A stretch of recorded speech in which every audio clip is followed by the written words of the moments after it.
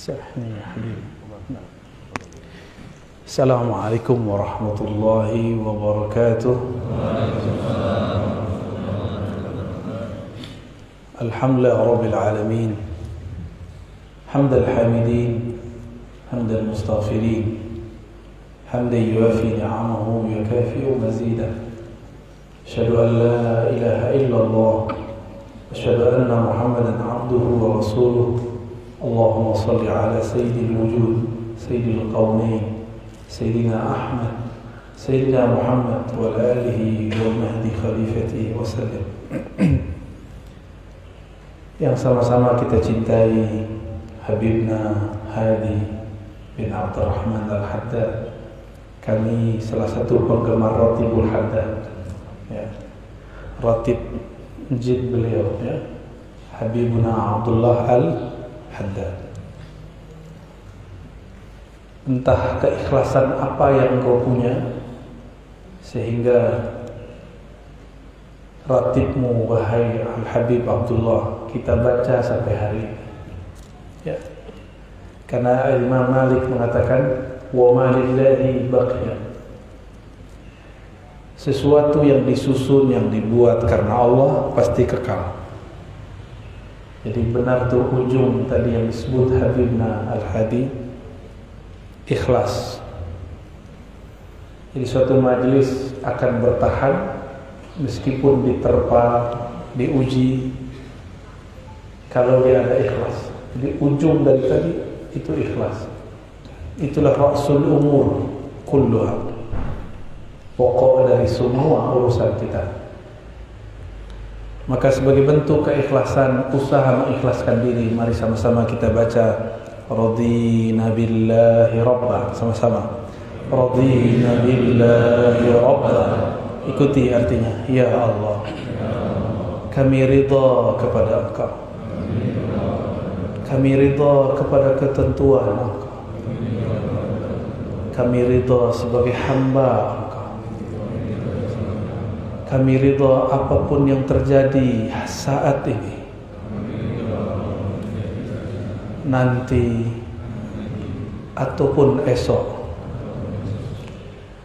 رضينا بالله ربا وبالإسلام دينا وبسيدنا محمد نبيا ورسولا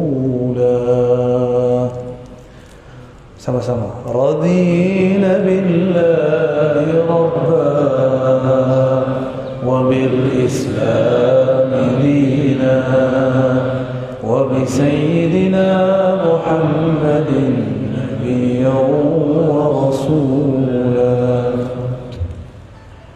tidak disebut ridha jika dia percaya kepada Allah tapi tidak terima takdirnya sekarang apa takdir kita hari ini kita masih hidup statusnya masih pandemi ridha enggak dompetnya pandemi enggak kena pandemi dompetnya. Sepertinya manusia setiap tahun ngomong hidup susah. Dulu waktu saya kecil, orang-orang tua bilang hidup susah nak. Sekarang udah enak masih ngomong hidup susah. Pas pandemi datang lebih susah lagi. Dulu orang yang bekerja setiap hari di kantor-kantor mengatakan, seandainya kami punya waktu di rumah, kami akan sholat berjamaah. Di musim pandemi ada namanya WFH bekerja dari rumah. Tapi ternyata dia juga tidak sholat berjamaah. Yang ada gin berjamaah jadi kita ini seperti yang diceritakan dalam surat As-Sajadah. Setelah masuk kubur maka orang yang disiksa di dalam kubur mengatakan farja'na na'mal salihah. Ya Rabb manggil Allah juga. Farja'na tolong kembalikan kami barang sebentar saja. Kami akan beramal soleh.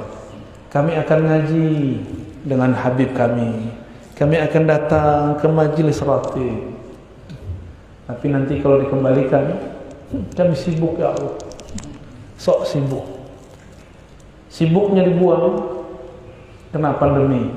Aku lagi oh pandemi ya Allah. Manusia semua punya alasan. Jamaah subuh yang diberkahi Allah untuk mencapai ikhlas mesti pintunya ridho. Tidak ridho, tidak ada namanya ikhlas. Ridho itu puncak dari cinta, awal dari keikhlasan. Maka orang kalau sudah cinta, dia rela apa saja yang diperbuat oleh kekasihnya. Jadi kalau kita mengatakan radina billahi rabba, aku ridha kepada Allah sebagai Rabbku, maka apa pun yang Allah lakukan kepadanya, dia pasti ridha. Udah ridha belum dengan masa ini? Hmm? Pandemi ada ridha gak? Jangan salahkan siapa-siapa. Jangan salahkan, oh ini konspirasi. Betul, mau ini konspirasi. Apalagi konspirasi. Katanya orang Bugis nggak bisa baca Z ya. Ustadz Arosi. Saya jadi pembalap. Tak apa-apa lah pembalap akhirat insya Allah ya. Kalau betul ridho kepada Allah, terima apa pun yang ada. Terima apa pun yang terjadi. Orang tidak ridho, kalau dia terjadi sesuatu, dia marah. Ini ciri-ciri tidak ridho. Tadi saya baca di situ ada tulisan. La taghdab falakal jannah. Jangan kamu marah, kamu dapat surga. Untuk bisa tidak marah-marah, babnya cuma satu, ridho. Orang ridho karena sudah cinta, misalnya gini, lagi di jalan, mobil kita kegores, kita buka kaca, ternyata kekasih atau mantan. Marah gak? Baik sudah. Dulu waktu saya nyetir, saya masih suka marah-marah. Tiba-tiba di samping saya ngomong, kamu ngebel-ngebel orang, bentak-bentak orang, kalau itu jamaahmu gimana? Lah Ustadz marah-marah. Akhirnya saya kepikiran juga, ya juga ya. Katanya sudah percaya kepada takdir, kita bergeser, kita apa pun yang terjadi tidak ada yang luput dari dari tadbir Allah Subhanahu wa taala. Saya mau tanya Bapak Ibu, ini pertanyaan saya tanyakan di mana-mana. Apakah ada di dunia ini, di alam semesta ini sesuatu yang terjadi lepas dari pengaturan Allah? Yakin? Yakin? Beneran? Kalau sudah begitu, ridho nggak kepada Allah? Ya, jadi ridho kepada Allah itu bukan berarti kita kemudian nggak kerja, bukan. Malas-malasan, bukan.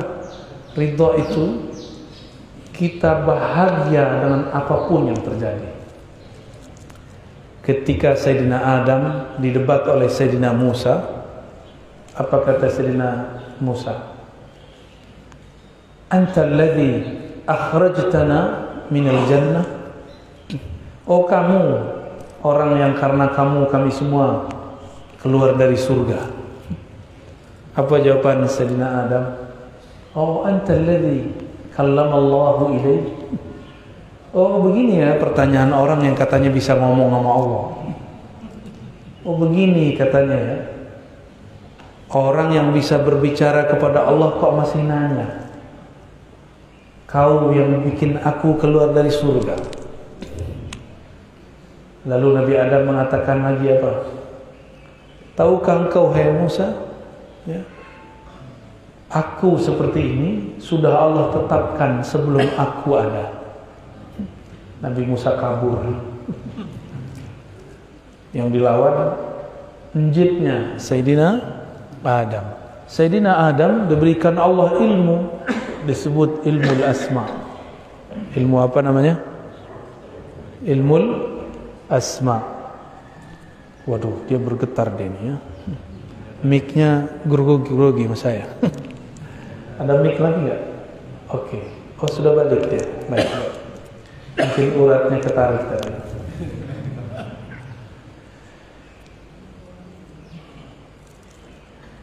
Nabi Adam alaihissalam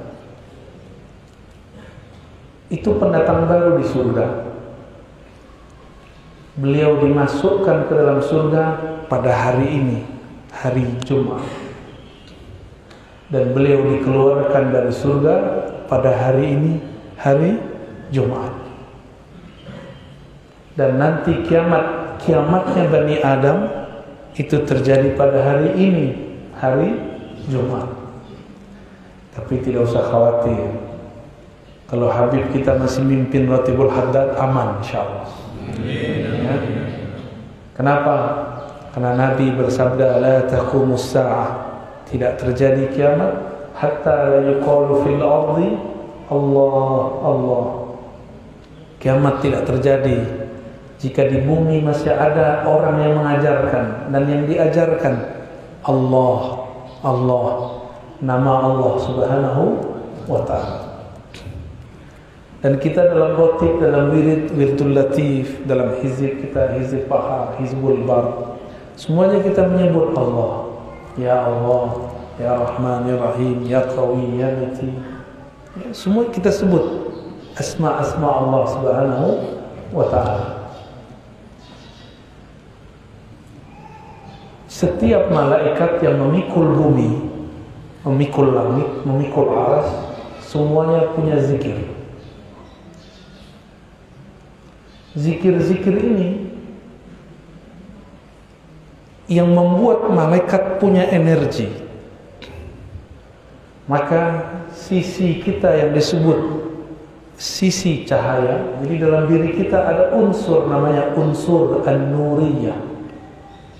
Sedangkan ini disebut unsur at-tiniyah. Ya, ini unsur dari tanah. Ini khaliqun basharan min tin. Aku ciptakan bashar manusia dari tanah. Tanah ini tercipta karena kun. Allah mengatakan kun maka terjadi. Di dalam kunnya itu ada kaf. Ulama ahli asrar huruf mengatakan kaf pertama disebut dengan kamaliyah kesempurnaan nun ada dua makna. Kita nun yang mana? Yang pertama nun nuriyah.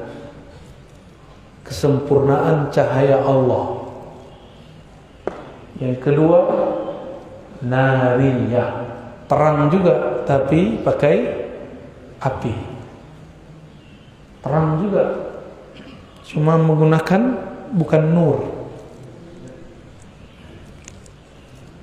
kun tadi.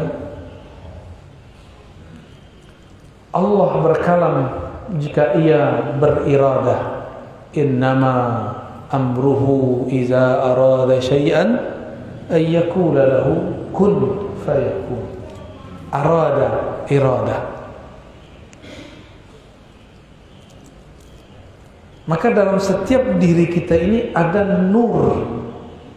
Nur Allah Subhanahu wa taala.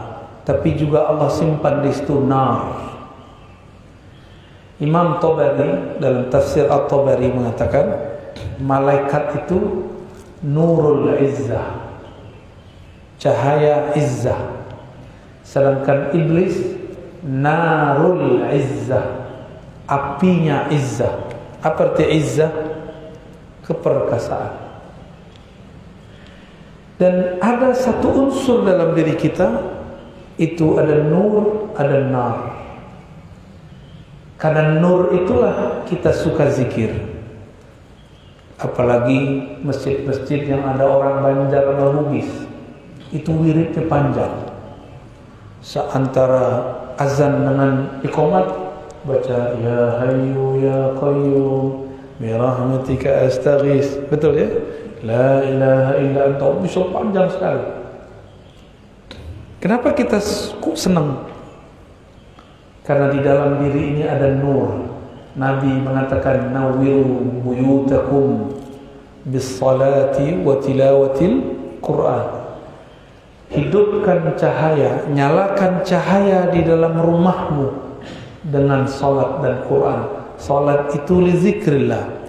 Inti dari salat zikrullah. Maka kalau diterjemah ulang, hidupkan, nyalakan nur di dalam rumahmu dengan zikrullah dan baca Quran. Baca Quran itu juga zikrullah. Maka menyalakan api, menyalakan cahaya itu dengan nur.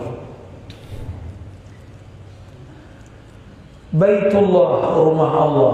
Apakah yang disebut rumah Allah? Apakah bangunan yang ada kubahnya? Banyak kok masjid tidak ada kubahnya. Cuma di Indonesia masjid yang harus ada kubah. Masjid di Madinah banyak yang tidak ada kubahnya. Masih sedikit sedikit aja. Apalagi masjid-masjid di Eropa nggak ada kubahnya. Karena kubah itu bukan tradisi Rasulullah. Kubah itu tradisi orang Persia dan Romawi. Kubahnya Persia kayak api. Kubahnya Romawi beda lagi. Bergelombang-gelombang.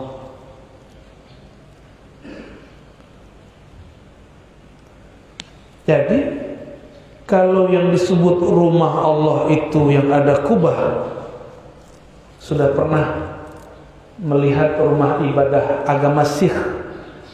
Tahu agama Sikh? Orang India pakai serban, tapi serbannya beda sama serban Habib. Wah, Habib itu beda itu ya, bersanat itu. Itu juga pakai kubah, tapi bukan masjid. Jadi jangan tertipu oleh kubah. Kadang ada masjid tanpa berkubah. Lalu inti masjid apa? Rufi'a fihi ismullah. Masjid itu adalah tempat yang nama Allah diangkat, disenandungkan di sana. Lalu masjid seandainya masjid runtuh. Kalau masih ada imam masjid, masih ada muazzin di masjid, masjid masih bisa bangun Berarti inti masjid siapa? Ada imamnya, ada muazzinnya, ada makmumnya. Inti dari orang yang yang jadi imam, jadi muazzin, jadi makmum bukan jumlah jamaahnya. Tapi kalimah-kalimah yang mereka kata-katakan. Kalimah-kalimah yang mereka lafazkan. Oleh karena itu ulama kita buat kesimpulan qalbul mu'min baitullah. Sebenarnya masjid hakiki bukanlah bangunan yang megah. Tapi masjid hakiki adalah kolbu yang di dalamnya ada nama Allah. Sudahkah kolbu ini jadi masjid? Atau sekarang masjid itu kalau di luar jam sholat dikunci, benar? Jangan-jangan kolbu kita selain jam sholat juga dikunci. Jadi masjid cuma pas Sholat lima waktu. Benar ya? Malam-malam dikunci. Khawatir tarbik yang hilang. Akhirnya banyaklah orang-orang yang gelandangan. Tapi Indonesia gelandangannya termasuk sedikit. Di Prancis itu banyak orang gelandangan. Jerman, Inggris, Spanyol, banyak sekali orang gelandangan. Dan sayangnya yang gelandangan itu separuhnya umat Islam. Karena masjid tidak boleh diisi. Gereja juga ditutup. Gimana? Siap mau nyalain nama Allah di kalbu? Ya. Sebut nama Allah pagi, sore, siang, malam, maka dia menjadi masjidnya Allah. jika masjid itu didatangi oleh orang-orang yang cinta kepada Allah maka kalbu yang sudah jadi masjid pasti dikunjungi oleh kekasih-kekasih Allah kenapa kita datang kepada para sayyid para habib, para kiai, para ulama, para wali. Karena kalbu mereka baitullah. Jika kita datang kepada mereka walaupun rumahnya bukan masjid tapi suasananya melebihi masjid. Faham selama ini kenapa orang ramai ya ke Abuya Ahmad Sarwani ke Abah Guru Sekumpul ya Guru Bangil. Kenapa orang ramai karena mereka hakikat masjidnya Allah. Kalau ada mereka itu makmum langsung datang. Ada mereka nama Allah langsung diangkat. Langsung bersuara. Paham istilah-istilah saya dari tadi? Sulit dipahami atau mudah? Mudah ya? Padahal dulu kalau kata orang ini kajian susah. Kita dulu waktu kecil kalau dengar orang ngomong qalbul mu'min baitullah langsung pada kabur jemaah ah ngaji apa ini? Nggak mau dengar mereka. Tapi alhamdulillah sekarang kaji-kajian begini sudah mulai masuk YouTube. Tapi kita tahan-tahan juga tidak semua rahasia boleh dibeberkan. Jamaah subuh yang bukan Allah. Bentar lagi syuruk ya. Satu kali datanglah menantu Abu Hurairah kepadanya. Namanya Sa'id ibn Musayyib. Siapa namanya? Atau Sa'ad ibn Musayyib. Lalu Abu Hurairah senang sekali. Abu Hurairah mengatakan waditu aku suka sekali aku berharap kita berkumpul di kamar-kamar surga di pasar-pasar surga, di mall-mall surga. Di Balikpapan ada mall ya? Baru ya? Baru mall ada kena pandemi. Kasihan. Kita senang ngumpul, duduk-duduk di kafe, ngopi-ngopi, bener gak? Sama aja, mau ustad gak ustad, habib gak habib, senang ngumpul-ngumpul. Cuma beda tempat aja. Suka minum minuman bareng, tapi beda tempat ada yang sama juga tempatnya. Lalu Sa'ad ibn Musayyab bertanya, boleh disebut Sa'ad ibn Musayyab atau Musayyib? Ya Abu Hurairah, apakah memang ada pasar di surga? Emang ada mall di surga? Ini kita itu tanyaannya. Mau tahu nggak? Ada mall nggak di surga? Hmm? Ibu-ibu kalau ada mall di surga mau belanja nggak? Di sono belanja nggak perlu pakai dolar, nggak perlu pakai rupiah. Jadi kalau kita belanja di sana, itu tinggal pilih. Datang ke ke mall surga, tinggal pilih mau baju yang mana. Tapi di situ nanti ada poinnya. Kalau kita mengambil yang selalu bagus, poinnya ngomong. Poin Anda belum cukup. Bisa begitu. Lalu Sayyidina Abu Hurairah mengatakan, betul. Inna fil jannati la suqan. Sesungguh sungguh di surga itu ada mall-mall pasar-pasar. Di pasar itu orang keluar pada hari Jumat. Keluarnya hari Jumat. Dalam beberapa riwayat yang sahih disebutkan jika ada seseorang keluar dari rumahnya pergi ke pasar surga, mall surga. Di tengah jalan dia kena angin. Angin itu ada debunya, debunya jadi bedak. Mukanya langsung kinclong tanpa perlu ke salon. Tanpa perlu pakai SK2, Bu. Nggak perlu pakai pemutih pembersih. Sampai di dalam pasar surga dia pilih mana dia mau tanpa perlu membayar. Pulang, ratu-ratu bidadari ini kaget. Emang kamu suamiku? Kenapa? Jerawatnya udah ada. Mukanya tambah cakep. Maka di surga tidak ada namanya tua. Yang ada tambah muda, tambah, tambah, tambah, tambah jadi pangeran, jadi sultan, jadi raja. Lalu kata Sayyidina Abu Hurairah, pada hari Jumat itu orang-orang di surga berkumpul di suatu tempat yang mana Allah akan menampakkan nurnya. Dibukakan hijab tirai yang hanya dibukakan sekali 500 tahun. Hanya dibukakan pagi dan sore. Dari pagi sampai sore di surga sama dengan 500 tahun di dunia ada yang umurnya dari 500 Bapak umurnya berapa Pak? 57 masih muda Pak ya? Tapi saya lebih muda lagi Pak.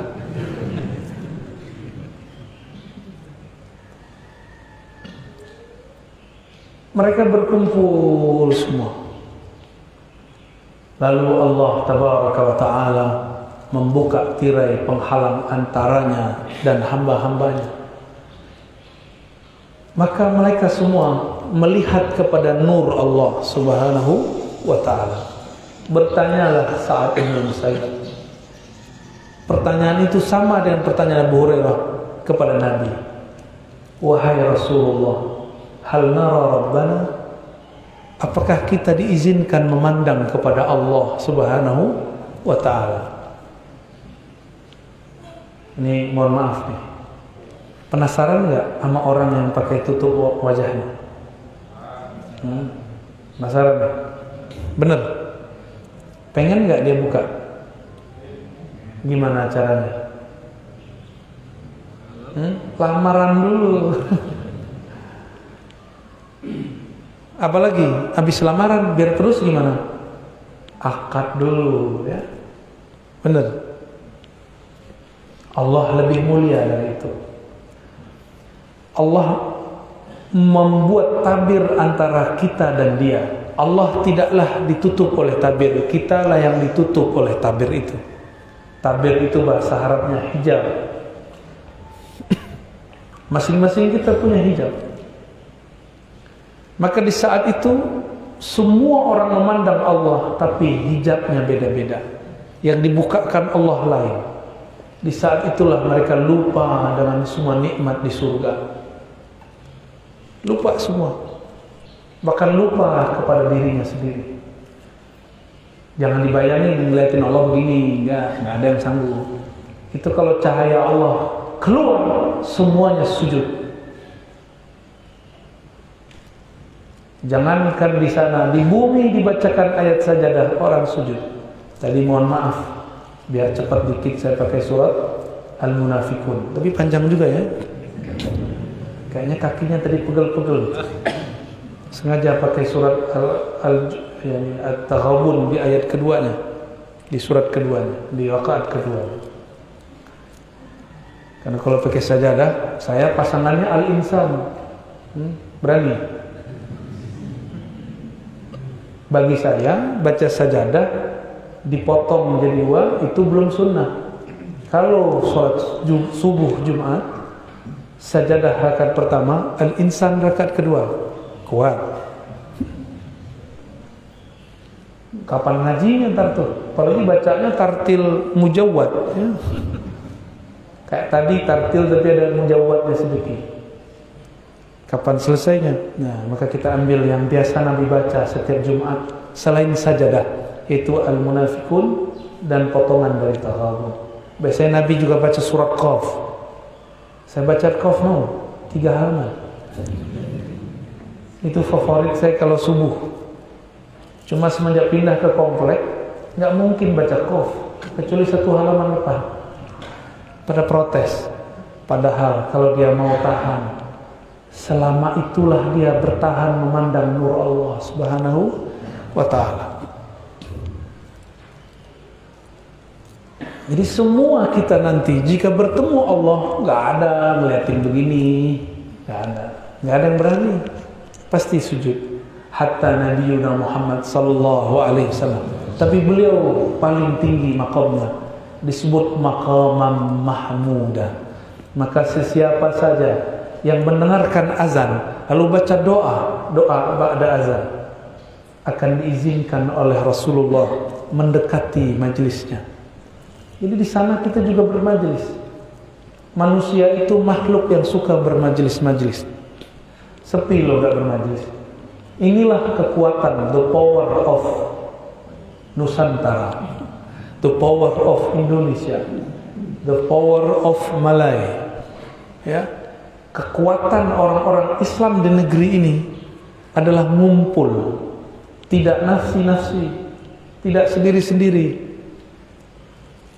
nggak nyala-nyalahin banyak kelompok, karena itu memecah, justru merangkul seperti yang dilakukan oleh para habaib dan kiai-kiai kita. Kita bersyukur punya guru-guru seperti mereka. Ya, cukuplah saya yang polemik ya, Habib usah gitu. Aneh aja yang berhadapan. Orang kayak saya nggak usah banyak-banyak. Ya, nanti banyak polemik nanti. Untung saya belajar tasawuf. Akhirnya polemiknya sudah dikurangi selama dua tahun ini. Hmm? Dulu enggak, dulu hampir tiap ceramah isinya polemik. Sunnah bid'ah, sunnah bid'ah. Tapi versi kita.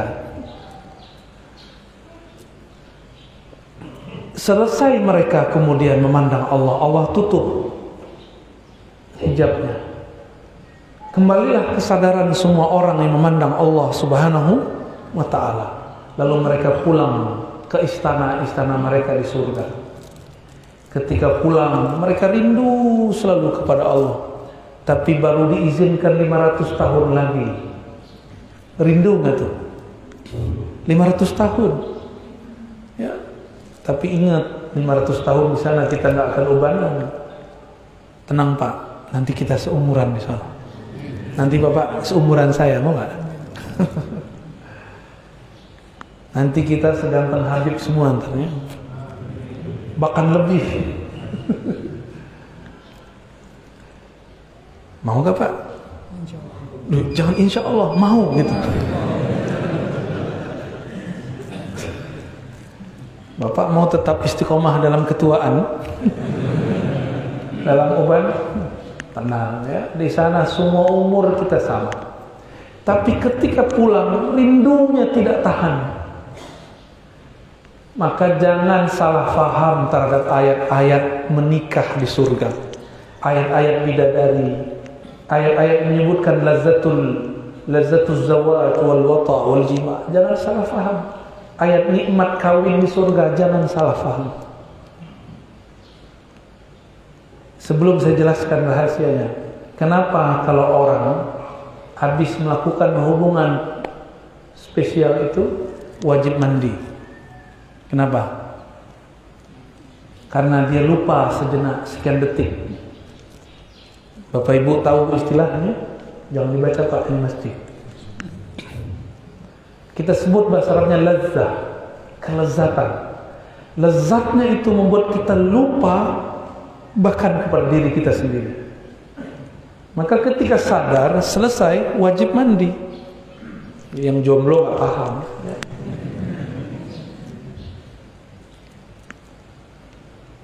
Ketika kita di sana, selesai memandang Allah, lupa semua nikmatnya tiada tara. Pulang ke istana-istana, rumah-rumah kita di surga kalau kita memang ahli surga. Amin. Rindu kepada Allah tak terbayarkan. Maka Allah berikanlah pasangan-pasangan untuk menawar, memberi penawar kerinduan itu kepada Allah. Itulah rahasia kenapa orang-orang yang tambah tinggi makomnya memandang Allah, tambah banyak juga harinya di surga. Perempuan juga sama. Jika dia adalah perempuan-perempuan surga, dia jadi ratu. Itu bidadari menjadi pelayan-pelayannya. Mau nggak bu? Ntar keriput nggak ada di sono nggak ada rambut rontok nggak ada di sana. Ya. perempuan ini kan hidupnya betul-betul banyak ujian pak. Jadi cukup mereka dapat ujian banyak. Udahlah hai. Habis itu hmm, kalau nikah hamil. Uh, ribet. Kalau udah hamil miring ke kiri susah ke kanan susah. Telentang sakit punggung. Bener. Habis itu melahirkan ada yang menyabuk nyawanya, ada yang pendarahan. Begitulah. Dikira sudah selesai, ternyata masih menyusui. Bapak ada yang nyusui nggak? Bapak menyusui, Pak? Enggak nyusu ya. Maka Allah itu kasih kenikmatan kepada ibu-ibu itu perempuan di setiap cengkal, di setiap sisi badannya. Jadi jangan coba-coba main-main dengan perempuan karena setiap jengkal tubuhnya ada kelezatan. Pada mereka, di kita enggak. Itu pengganti susahnya ujian yang mereka rasakan. Nanti di surga terjadi perdebatan ahli surga perempuan surga bidadari dengan ibu-ibu ini kalau masuk surga mau nggak bu masuk surga ridho sama suami ya tasdik sama suami. Jangan ingkar mulu sama suami. Apalagi marah-marahin suaminya ya. Ini bukan belain pak polisi ini bukan. Pak polisi ini galak di luar di rumah. Sami'na wa asaina tahu wa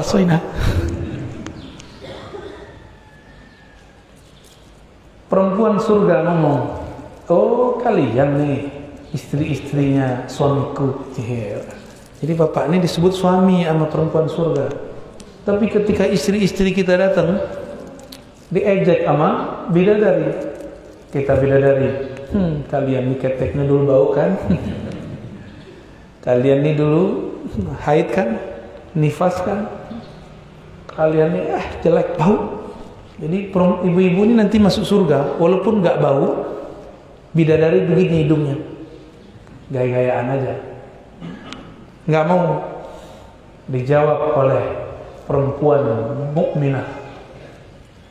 Oh kalian nih bidadari, nggak ngerti kita ya? Itu suami kami itu, suami kalian tuh bekas kami semua. Terus apa lagi? Kalian pernah sholat nggak? Kalian pernah puasa nggak? Pernah baca Quran nggak? Pernah tahajud nggak? Pernah haji umroh nggak? Kata bidadari, ampun. Akhirnya bidadari semuanya tunduk kepada perempuan-perempuan beriman. Jadi tenang bu ya, biarlah di sini jerawatan ya. Biarlah di sini ditinggal-tinggal suami ngaji, majelis nggak apa-apa Insya Allah di sana kalau ridho Allah muliakan ya dan Allah jadikan masing-masing kita mendapatkan 100 kekuatan semua makhluk di bumi. Ada orang paling kuat di sini dia dikasihkan 100 kekuatan. Itu sorga paling rendah. Kalau sorga paling tinggi bisa jadi 2000 3000 kekuatan. Maka di sana nggak ada cemburu. Satu laki-laki bisa punya 70 ribu bidadari paling sedikit 72 itu yang dikejar-kejar sama kawan kita ya salam ya. masa mau, mau masuk surga mau kawin 70 bidadari harus bunuh orang dulu itu namanya surga antara dua paha surga sahwat Nauzubillah bukan itu surga yang kita mau surga yang kita mau memandang kepada Allah Subhanahu wa taala. Itu surga yang kita mau. Bertemu Allah. Sudah faham kenapa ada menikah banyak di surga? Banyak jima di surga. Kenapa? Mereka rindu kepada Allah, tidak tertahan. Maka penawarnya adalah kawin, kawin, kawin, kawin. Malam pertama terus tuh mereka tuh tapi nggak puas juga. Nikmat sebentar hilang. Mereka pengen nambah lagi, pengen nambah lagi.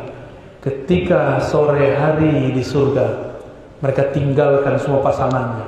Pasangan mereka juga meninggalkan mereka. Semua datang kepada Allah. Ingin bertemu lagi Allah Subhanahu wa taala. Bertemu Allah buka cahayanya lagi. Terbukalah tirai mereka sujud semua lupa dengan semua nikmat surga begitu dalam hadis Imam Muslim lalu Allah tutup lagi tirainya mereka sadar kembali pulang kembali itu rasa yang kemarin hambar ingin nambah lagi maka di surga itu tidak ada nikmat berkurang nikmatnya nambah terus tapi ahlullah orang-orang yang mereka keluarganya Allah mereka kemudian tidaklah tertarik dengan kawin-kawin di surga. Tertariknya sama apa? Ya Rob, izinkan aku bermajlis dalam hadiratmu. Wujuhu yawma izin nadirah ila rabbiha nazirah. Maka nanti ada penduduk-penduduk surga, dia nggak minat sama bidadari. Terus dia cuma ingin bertemu Allah setiap saat. Sujud dia setiap saat. Bahkan berngobrol-ngobrol dengan Allah. Allah ini kan akraban. Dalilnya apa? Ada nggak dalil yang menyebutkan Allah qarib? Hmm? Ada? Ya? Ada kan? Wa nahnu aqrabu ilaihi min hablil warid. Wa idza sa'alaka ibadi anni fa inni qarib. Aku qarib, dekat. Kalau teman dekat, ngobrol nggak? Apa unek-unek kita kita sampaikan? Lalu Nabi di ujung hadis, ini hadisnya panjang Pak, tapi saya ringkas aja ya. Dalam hadis yang sahih, Nabi mengatakan, jika engkau mau bertemu Allah di waktu pagi dan di waktu sore di surga, maka dirikanlah solat sebelum terbit matahari dan sebelum terbenam matahari. Semoga solat kita melakukan barusan adalah mahar. Mungkin tidak pantas jadi mahar, tapi semoga tasdik iman kita kepada Allah yang menyuruh meskipun tidak khusyuk Allah jadikan sebagai wasilah kita dapat bertemunya nanti di surga Firdaus. Allah maja'alna min ahli Firdaus. Ya Allah jadikan kami penduduk surga Firdaus. Bahkan lebih tinggi dari itu ya Allah. Ya Allah izinkan kami yang hadir pagi ini orang-orang yang memandang kepada nur, jamaliyahmu, keindahanmu, jalaliyahmu, keperkasaanmu. Ya Rabb, siapapun yang tasdik kepada nabimu, yang percaya kepada semua kekasih-kekasihmu, izinkan kami mendapatkan syafaat Nabi Muhammad sallallahu alaihi wasallam. Ya Allah, tuliskan nama kami pada diwan, pada sijil yang tertulis di situ daftar orang-orang yang dapat syafaat Nabi. Bahkan angkat nama Nabi, nama-nama kami ya Allah menjadi nama-nama orang yang diizinkan bermajlis di majlis-majlisnya Allah. Dahadiratullah. Amin ya rabbal alamin. Allahumma najjina minan nar. Ya Allah dengan kerahmatanmu dengan kasih sayangmu bebaskan nama kami hapuslah nama-nama kami dari neraka. Allahumma jirna minan nar Allahumma jirna wa ahlana wa zuriyatana minan nar Allahumma jirna wa masyayikhana wa abanana wa ummahatina minan nar Allahumma jirna wa jiranana minan nar Allahumma jirna wa man hadara ma'ana fi hadha sabah minan nar. Ya Allah berkahi kami yang hadir berkahi guru-guru kami berkahi semua yang hadir والحمد لله رب العالمين الفاتحة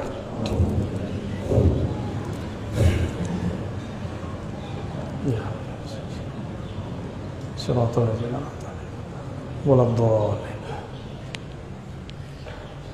cukup ya puasnya nanti di surga kalau kita masuk surga ya gimana Sanjun Cukup, kita tutup. Baik, jamaah syuruk nah, tadi subuh ya. yang dimuliakan Allah.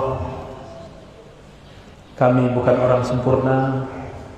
Kesempurnaan milik Allah SWT. Jika suatu saat ada aib yang terlihat, jika ada kekurangan yang terlihat, jika ada kebodohan, kejahilan yang tersingkap, maka itu salah kami, bukan salah Allah. Ya, mohon maaf, dibukakan pintu maafnya. Ya. Mohon izin Habib, ya. sudah lancang ngajar depan Habib. Ya. Wassalamualaikum Muhammad.